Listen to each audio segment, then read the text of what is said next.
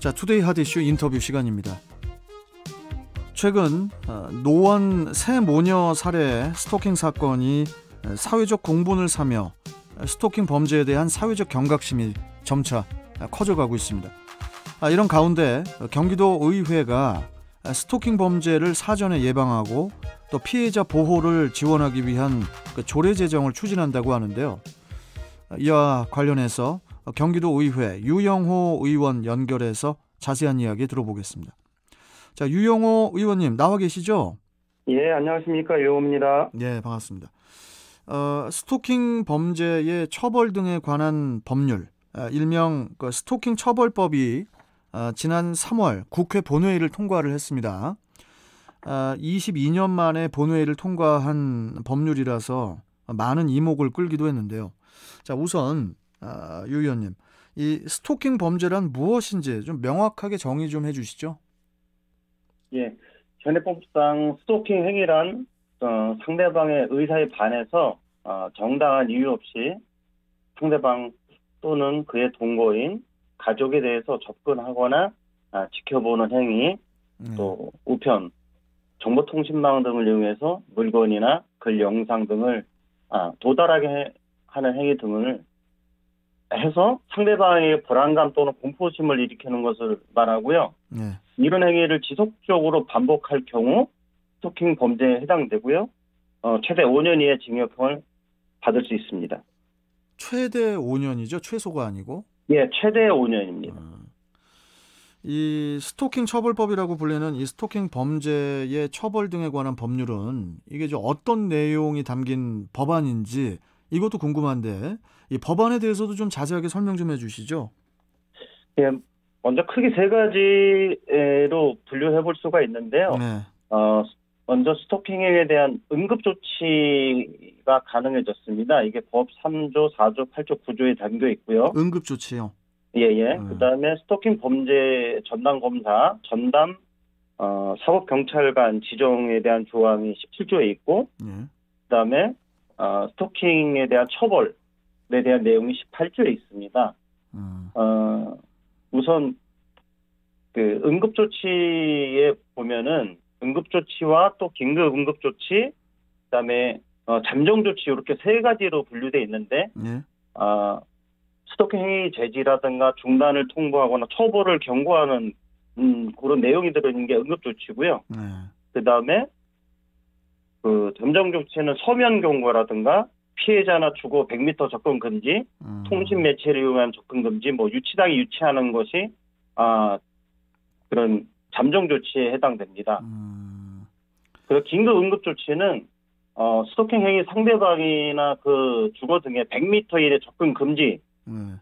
그런 내용들이 담긴 게 어, 긴급 응급 조치고요. 음. 어, 두 번째로 스토킹 저- 범죄 전담 검사 어, 전담 사법 경찰관 지정에 대한 조항에서는 예.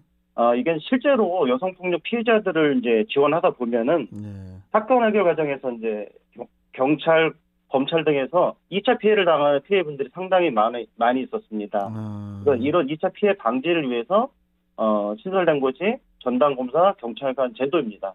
음. 또 이제 이러한 성폭력이나 아동 학대 등 범죄와 맥락이 같 이제 맥, 맥락이 같은 이해가 필요하기 때문에 예. 어 이렇게 전담 검사 경찰관을 두도록 했던 것이고요. 예, 예, 예. 어 이런 범죄 역시 그런 기, 기초에서 어, 도입된 것입니다. 알겠습니다. 자, 그래서 이와 관련해서 그 유 의원께서는 그 경기도 스토킹 범죄 예방 및 피해 지원에 관한 조례안을 또 대표 발의하시지 않았습니까? 예. 예, 이 조례안을 마련하게 된 이유는 뭔가요? 아 최근에 그 스토킹 피해로 로 인해서 피해 사례가 굉장히 증가하고 있고요. 예. 범행 초기에 가해자에 대한 처벌과 피해자에 대한 보호 조치가 신속하게 이루어지지 않기 때문에 네. 이게 강력 범죄로 연결돼서 사회적 문제가 대두되고 있습니다. 음. 그래서 이 스토킹 범죄 처벌 법률이 어, 통과됨에 따라 저희가 선제적으로 이제 반쪽짜리가 됐거든요. 예. 어, 피해 지원에 대한 내용이 아무것도 없기 때문에 예. 어, 저희는 그 거기에 대한 스토킹에 대한 어, 처벌법에서 정한 목적과 정의를 토대로 음. 피해 음, 경기도 스토킹 범죄 예방 및 피해 대한 피해 지원 조례안을 개정하게 되었습니다. 알겠습니다. 그러면은 예. 네, 그러면은 어, 유영호 의원님 앞으로 지금 말씀하신 경기도 스토킹 범죄 예방 및 피해 지원에 관한 조례안이 어떤 과정을 거쳐서 언제 상정이 되고 또 심의될 예정인가요? 아, 곧 경기도의 제 352회 정례가 6월 8일부터 23일까지 열리게 됩니다. 예. 어, 정례에서 해당 상임위인 여성가족 평생교육위원회에서 조례, 조례 심사를 거칠 예정이고요. 예, 예. 회기 마지막 날이 23일 본회의에 상정돼서 처리될 예정입니다. 이게 저 이 해당 조례안에가 저, 저 어떤 내용들이 담겨 있는 거죠? 좀 간단하게 말씀 좀 해주실 수 있으세요?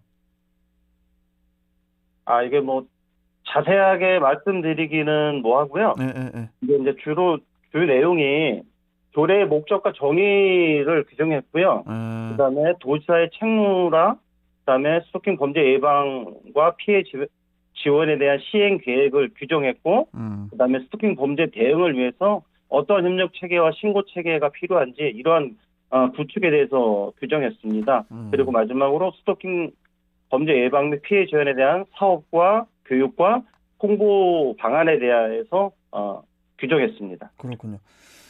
어, 마지막으로 이 스토킹 범죄를 사전에 예방을 하고 어, 또 피해자를 안전하게 보호하기 위해서 어, 앞으로 유 의원께서 어떤 노력을 어, 또할 예정이신지 향후 활동 계획에 대해서 끝으로 어, 말씀 좀 해주시죠. 예.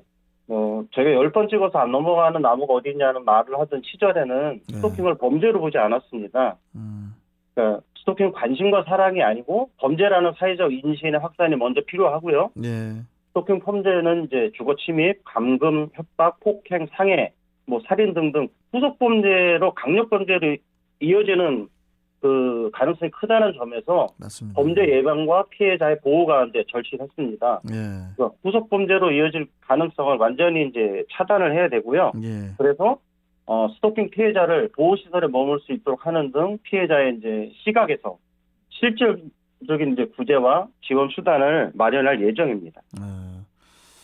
앞으로 어, 좀 계속 좀 수고해 주시고요, 예, 유 의원님. 어, 또 나중에 또 다른 사안으로 또 뵙도록 하겠습니다. 예, 오늘 말씀 잘 들었습니다. 예, 감사합니다.